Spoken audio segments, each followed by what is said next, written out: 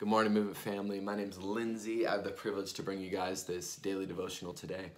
Uh, Pastor Pat's been walking us through Easter and then the time shortly thereafter Easter for the past couple weeks where Peter and John have rolled up at the tomb. They find that the tomb's empty. They have the question asked themselves are they going to look in the tomb?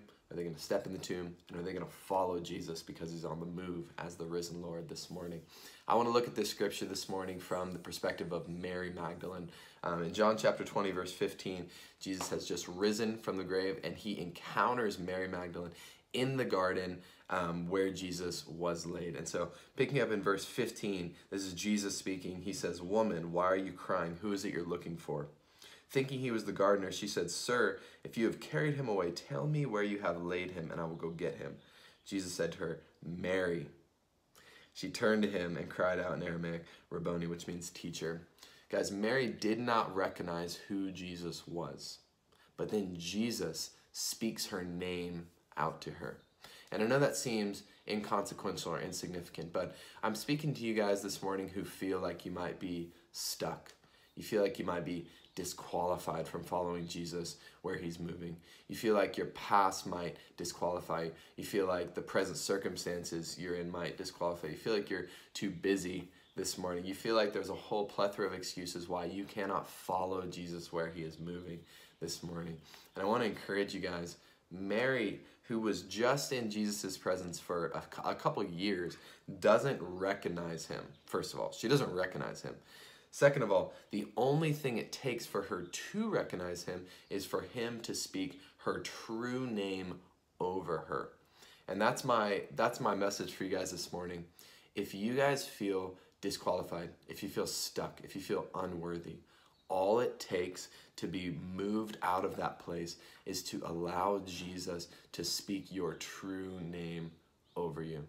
And how does that happen? The only way that happens is to have a face to face encounter with Him as the risen Lord. Mary comes into Jesus' presence. He's risen. They're looking face to face with one another, and Jesus speaks her name over her.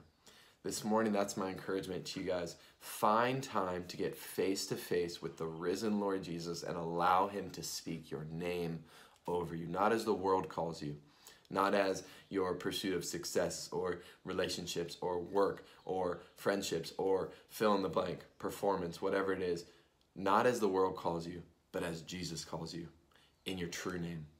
Seek Him out this morning in His Word, seek Him out in worship. Seek Him out in prayer. Seek Him out in any of the various forms of community that we've laid out before you. Wednesday Night Live, our, our Zoom community groups, our Sunday morning gathering. There's so many opportunities for you guys to engage. And as you engage with our community collectively, you're engaging with the body of Christ. And so you're experiencing different aspects of who Jesus is by engaging in community. And so if you're feeling stuck, if you're feeling disconnected this morning, that's my encouragement to you guys. Find moments to look at Him face to face, eye to eye, and allow Him to minister to your heart, to speak your true name over you. And I believe that has the power to get anyone unstuck from any situation. But it's something that you have to do moment to moment and day to day.